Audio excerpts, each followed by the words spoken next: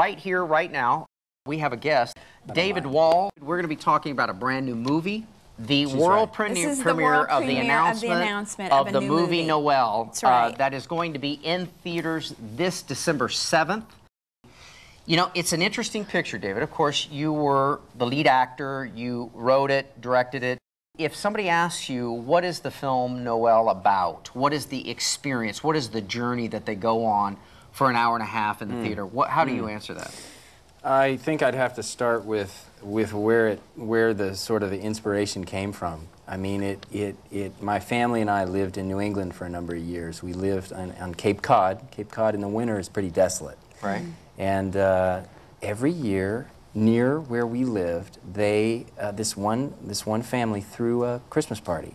Now this street's an old street. These trees are old. These were old whaling captains' homes from Wow. the 17th, uh, 17, 1800s. So it was a crazy street, and this this Kinda street, eerie? Uh, yeah, very much so in the winter, but For a kid, beautiful, yeah, beautiful. For a kid, I'm sure. Sure. Yeah. But this house, Christmas Eve, was lit up with Wow. little white lights everywhere. There'd be cars lining the streets into, into the snowbanks, and you could hear the laughter, the singing, the music inside this place. And until you went to the party, you, you would always wonder what is going on in there. Every mm. year, there it is. Wow. But what struck me about this party was the unity, hmm. the joy in that room. I mean, here were Catholics and Protestants and Buddhists and Rastafarians, and I, I don't Wow. know what else was there, but, but it was totally joyful. Wow. And these people, for that evening, had put aside whatever their backgrounds were and were celebrating Christmas. And so this story, set in Cape Cod, Mm-hmm. in the snow, inside of a, uh, the local church, the Yep. certainly the, the matriarch of the of the little town, you know that that that is there, and inside of the local pub, really is where that world and where the culture centers, you know.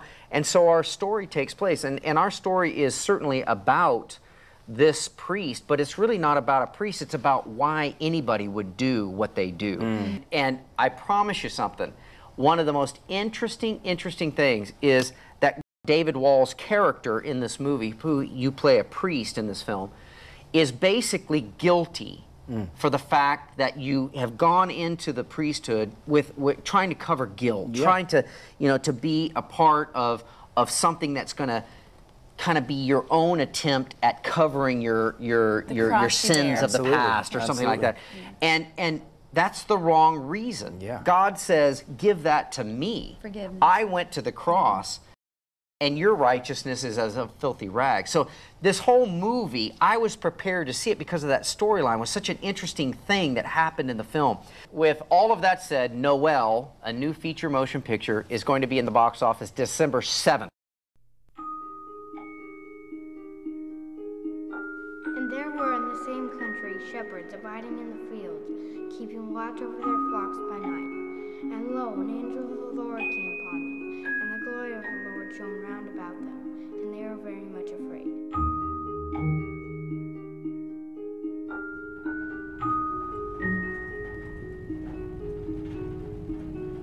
End of the line, Father.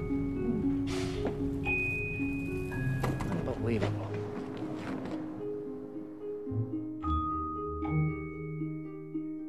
Folks, Father Keene is very powerful as priests go. He's a representative of the Archdiocese.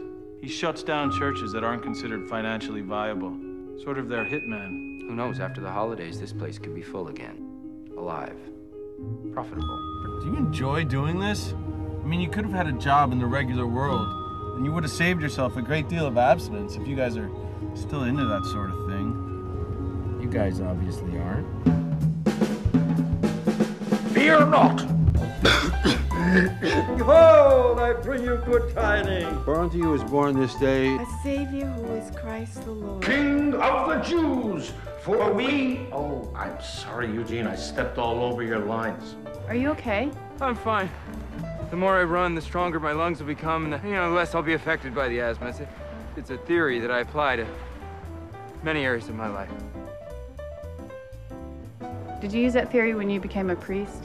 I've reached a point where I can shut a parish down in my sleep, pull a priest and replace him before anybody knows what's hit him. Scrooge was not much in the habit of cracking jokes, nor did.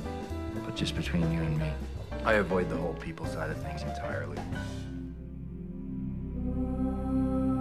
Being a priest is a privilege, not a punishment. Forgiveness is an awful business, isn't it? But your man here beat you to it. It's not your job. What is my job?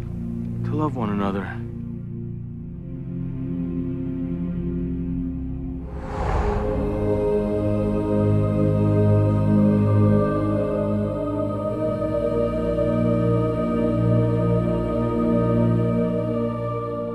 May I ask you a personal question?